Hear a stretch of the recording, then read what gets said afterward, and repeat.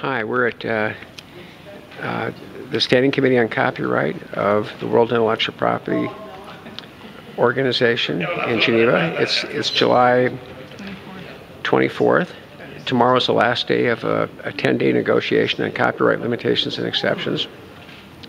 I'm here with uh, Victoria from the uh, it's uh, well from the FIAB. I was just wondering if you could start out by introducing yourself to the readers. Tell them a little bit about yourself, who you are, um, uh, who you who you work for, and who you represent here today, and why you're in Geneva. So my name is Victoria Owen. I'm Canadian. I am here with the International Federation of Library Associations, and I'm also uh, here with the Canadian Library Association. So the uh, International, so I'm a librarian, and I work at the University of Toronto, Scarborough. I'm the head librarian at that campus. I am here in Geneva to um, talk about libraries and archives and exceptions for copyright for libraries and archives. So, uh, what what got you interested in, in the field of intellectual property rights? Well, I was a librarian in a National Library for the Blind in 1993, so I worked there for over a decade, and copyright became part of my portfolio. So I became very interested in copyright in that application. So it was a, a very, in, in the realm of copyright, it's a narrow application. So it was for, uh, to provide access to the people who are visually impaired, print disabled, um, to alternate format to material, to material for lifelong learning for education. And so I built, I was in charge of the collections and all of the library service at that library for the blind. So I became very interested in in areas of access, in copyright, how it applies, what it means in terms of access for the Canadians that I serve, but also in terms of because there's small communities around the world, and we're a national library organization. It, by its very nature, has an international tone. So we became involved with other national libraries, and you start working at the international level and understand how those different regimes fit together. So that opened the door of interest, and then it just grew from there. It became sort of an unquenchable thirst to, to learn more and to see how it applied to libraries in all aspects because I moved out of libraries for the blind and went to academic libraries. So it has, it's, it's a very pertinent and important topic in the print world and even more so in the digital environment because it's a changing environment. Um, do, do you feel in, in, in working with libraries that um, uh, it's easier or difficult to conclude licensing agreements or uh, negotiate prices for collections and including the ability to share them across borders, that kind of thing? Well, it's an interesting combination of contract and national laws. We try to ensure that the national laws are not overridden by contract. So we try to ensure that there are statements in, you know, in, in the, at the beginning of the contract that states that nothing will um, will derogate from the limitations and exceptions that are available for that country. And then also in the representational warranties at the end of the um, contract, we have to make sure what we sign for up front isn't somehow taken away at the back end. So I think you have to be, you have to read your documents, you have to understand what it is, what the provisions are in the law, and up to what extent they, they are in the law, and then you have to make sure that your contracts don't override your statutory rights. So, so it is um, it, it, it's a, it's a nuance it's a nuance and it is an area where people need to um, develop knowledge and interest in understanding how to optimize the, the statutory rights of our users and also to you know to negotiate those licenses properly. So you- you're here in Geneva. You're, you're um, a long ways from home, and uh, you're here. You're here to work on, I believe, a treaty for uh, at WIPO on that deals with libraries and possibly archives. I was wondering if you could explain it, uh, you know, for people that have not heard about this or don't know about this project, what, what it is you're trying to accomplish with this treaty proposal?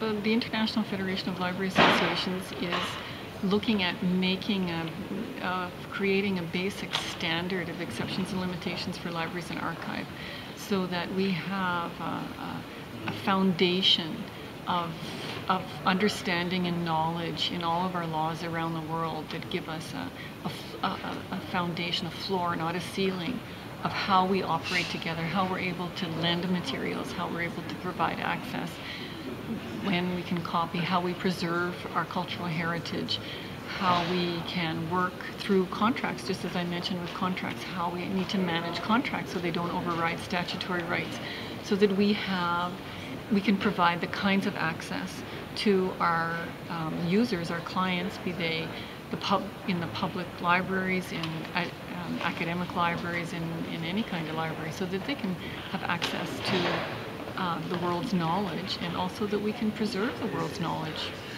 So those are essentially that's what we're trying to accomplish so that there are many countries around the world that don't have limitations and exceptions and it's a it's a path to development it's a path to um, the ability for people to have to provide a, a, a level of, of access to knowledge for all of its citizens.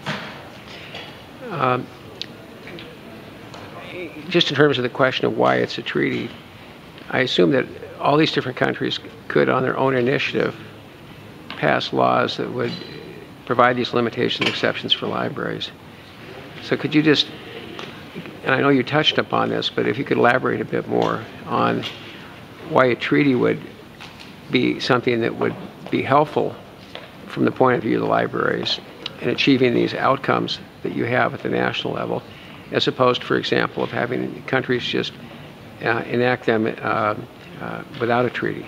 Well, I think it becomes a patchwork, and so um, if you don't have the same understanding with uh, libraries around the world, you you're not able to fulfill, you're not able to exchange things in the same way. You would have different laws on cross-border. You'd have different laws on exhaustion and importation, so that you wouldn't be able to provide a seamless access to knowledge and, and bring in um, materials and, and knowledge content from around the world. So I think it, it's a kind of, it's a, we're, we're allowing at a minimum, at a basic minimum, that libraries and archives from around the world would speak the same language, would have the same kinds of statutory rights for their libraries, for their, for their libraries to operate and, and to provide access and to preserve their cultural scientific heritage.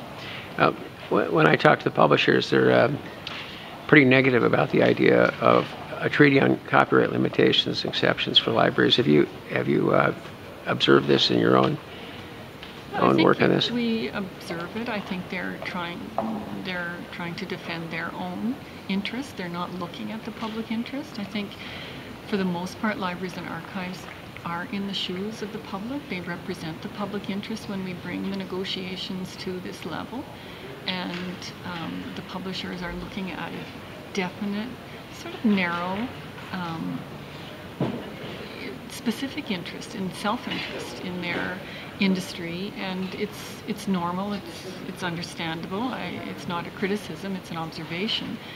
But certainly, that's the role of libraries, and copyright is a is a balance. It's a it's a in in most of the certainly in the Parliament of Canada, it was for um, the protection, but also the provision of access. So always in the in the drafting of the original copyrights, this this was the balance. So this is what we're trying to maintain in the digital environment that there are uh, exceptions and limitations so that people can have still have this access to information knowledge through their through their libraries. Well, uh, let, let, me ask you a couple of um, uh, questions, and I, will just if, if you could just give me short answers to them, then I get I get more questions in. I hear you. There's a subtext there. Uh, well, you know a lot, and uh, we're not going to get everything covered in this interview anyhow. So uh, I, I, apologize for that, but uh, just because the length. But um, um, do you think that the treaty that you've proposed would require changes in the Canadian law? Until fairly recently, no, but recently, yes. We have a new uh, bill Bill C-11 that has uh, introduced um, some changes to our legislation. Certainly, we have technological protection measures, so digital locks um, are not. There isn't a provision right now in the, the document that's there on um, removing the locks for non-infringing uses. So we need to have that sorted out. And also, I think there are some restrictions on cross-border use for materials that have been created for the people with perceptual disabilities in Canada. So there are some additional, um, I think, on. Um, although we we we try to. Uh, to share our knowledge and our with the with the government before the law was drafted, just in terms of some technical um, changes, how it might not be so difficult for people with print disabilities to navigate. But um, we'll just see what we can do with uh, regulations and how we might change it And to get to make it more workable. how's the uh, how's the Canadian delegation been at WIPO on your proposal? The library's proposal.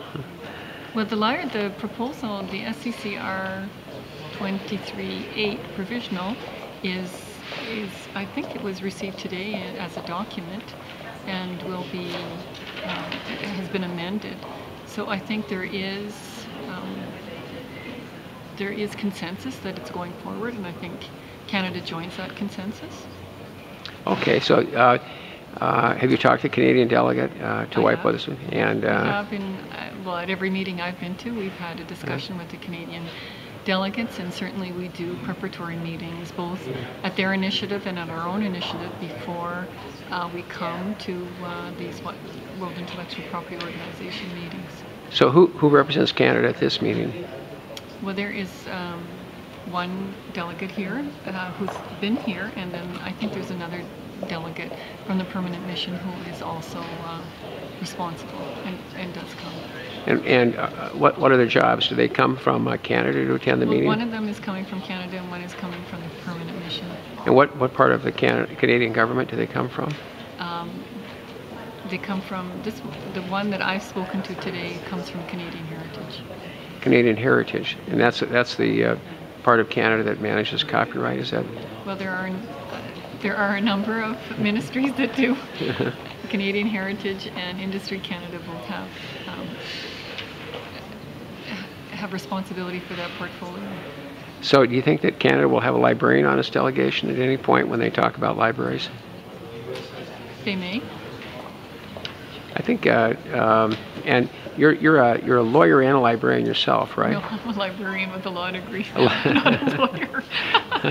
I'm sorry. librarian. In the United States, I, I would call everyone with a law degree a lawyer, but uh, no, not in Canada. I'm sorry. That's Uh, library.